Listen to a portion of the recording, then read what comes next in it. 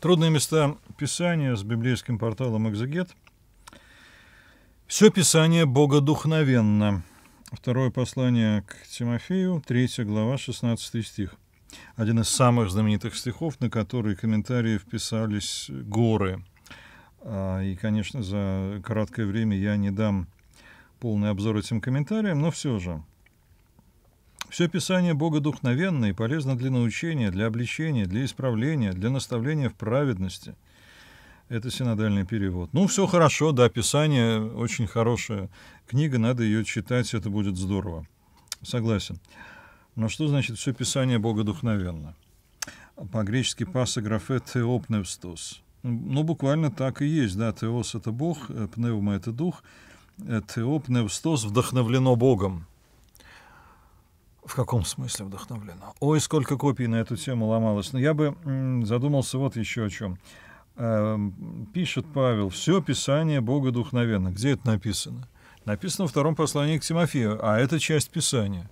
То есть, э, смотрите, это еще не самый конец. Ну, еще вот половина послания после этого идет. Значит, э, по крайней мере, эта вторая половина не включалась в понятие все Писание потому что еще не была написана эта вторая половина. А, возможно, не только она не была написана, но и какие-то другие книги. Или они были написаны, но еще не были собраны в Писание, потому что э, канон Нового Завета сложился все-таки значительно позднее, окончательно сложился. Если о Евангелиях, наверное, особенно никто не спорил, с самого начала мы встречаем в христианских списках те четыре, которые нам известны сегодня – то про послание там много было разногласий. Включает ли послание Петра или э, еще, скажем, откровение Анна Богослова, которое тоже не везде входило сразу. А, сложная вещь. Так что он имеет в виду под всем Писанием для начала? А может быть, вообще всякое написанное? Ну, явно нет. Мало ли что где написано. А, тогда, может быть, мы скажем, что это относится к Писанию Ветхого Завета, потому что оно точно было к этому моменту завершено. Правда, и его канон окончательно не сложился, и мы видим в послании Иуды, например, что там э, используются цитаты из разных апокрифических текстов, которые в состав э, Библии никем не включались, но были почитаемы явно, и он э, цитирует там послание Иуда, его автор цитирует их явно как ну, некоторую авторитетную литературу, а не просто как что-то такое вот подходящее, чтобы оборот речи взять, интересно. Тогда что такое все Писание? Вы знаете, мне кажется, что здесь э, скорее имеется в виду некоторый принцип. И э, давайте прочитаем целиком этот отрывочек. «А ты пребывай в том, чему научен, и что тебе верено, зная, кем ты научен». Ну, то есть э, Павел и себя, видимо, имеет в виду, но каких-то хороших учителей. При том же ты из детства знаешь священные писания, которые могут умудрить тебя во спасение верою во Христа Иисуса. Все Писание богодухновенно. То есть, смотрите, ты сам знаешь Писание. И он не делит здесь на канонические, неканонические. Более того, начинается слово «предания», э, что тебе верено, кем ты научен. Это же вот э, классическое определение предания. Это то, что передается из поколения в поколение. И э, Писание — это его центральная и главная часть.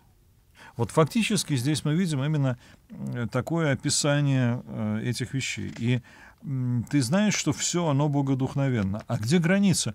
Мы спросим, э, скажи, пожалуйста, Павел, а как ты считаешь, вот маковейские книги — это часть Писания? Они не входят в библейский канон, который будет потом окончательно сформирован, но они входят в Библию. А, или там книга Юдивь, или какое-нибудь там послание Варнава, псевдопиграф, скорее всего, то есть Варнава его почти наверняка не писал, или там Э, вот, Павел, ты написал послание к лаудикийцам, ты сам его упоминаешь, оно не вошло в Писание, значит, оно не было боговдохновенным, да? Значит, как-то вот ты его написал, не подумав, да? Мне кажется, он не понял бы вопроса. Не могу за него отвечать, но э, вот что у Тимофея было, то и есть Писание. То, что ему было дано как Писание, то, что он читает как Писание, то, что он знает как Писание, то, что он использует как Писание, то и богодухновенное Писание.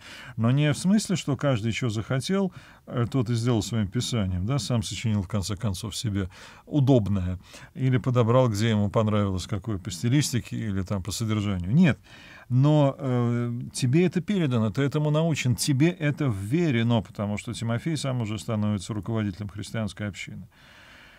А, и ты понимаешь, зная, кем ты научен, да, что это правда. Вот очень интересный принцип. Откуда мы берем Писание?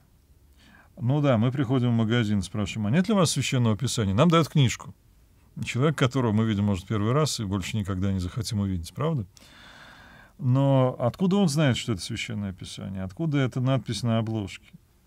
То есть есть какая-то э, традиция. Если есть традиция, то есть и община. А здесь, тем более, христианство еще очень юное, очень свежее, и у него нету этих закостеневших каких-то форм, которые, может быть, потом будут, а иногда будут даже мешать э, свежести и такой чистоте восприятия. Но есть авторитет людей, которые тебе это передали. Вы знаете, сколько раз я слышал о других, да и сам это воспринимаю именно так. Почему мы говорим, что христианство истинно? Более того, конкретная наша христианская традиция – Потому что мы в книжке прочитали, есть другие книжки, там другое написано, про другие традиции. Потому что, я не знаю, там очень красивое богослужение, там иконы прекрасно выглядят. Слушайте, мало ли красивой музыки, мало ли красивой живописи? Полно. Но иногда видишь человека, по которому ты можешь судить о святости. Вот я скажу так, не называя никого святым, но ты видишь его и понимаешь, что вот это явление святости в этом мире. И э, если этот человек чем-то делится с тобой, то ты понимаешь, что это от Бога, а не а просто его фантазия. Ой, сколько бывает фантазий, которыми делятся, гораздо больше. Или там какие-то, как у того же Павла мы читали, сожженные в совести свои люди, которые навязывают свои стандарты и все такое прочее. Но э, вот там, где ты просто видишь результат этого действия Бога в жизни человека, общины, и э, вот часть этой жизни, часть того, что тебе передано, это текст, это священное писание. Тогда еще не канон, тогда еще не книжка э, с благословением там кого-то, патриарха или, я не знаю, какого-то органа коллегиального, да, но э, скорее опыт жизни. И э, вот хранить это, принимать, понимать, что э, если тебе это дано, то и ты должен это давать дальше. Вот это то, к чему Павел призывает Тимофей уточняет, все Писание богодухновенно, это его происхождение, но важнее, что оно полезно для научения, обличения, исправления, наставления в праведности.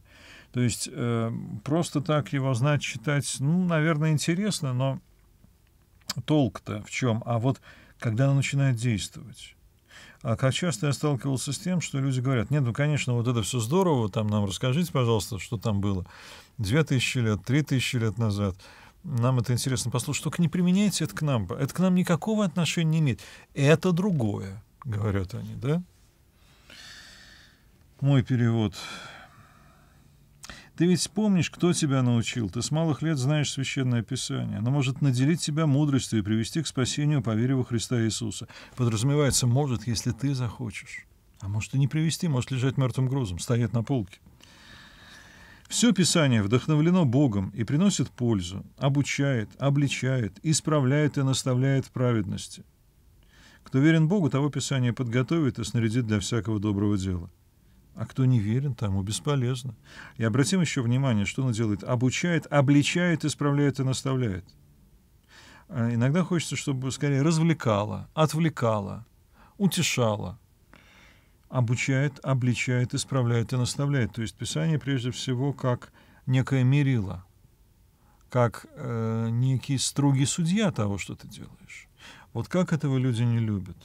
Но тогда оно для них не боговдохновенно, тогда оно для них не полезно, даже если они напишут на нем самые высокие слова о том, как они высоко его ценят. Внеси свой вклад, оцени, подпишись и поделись этим видео.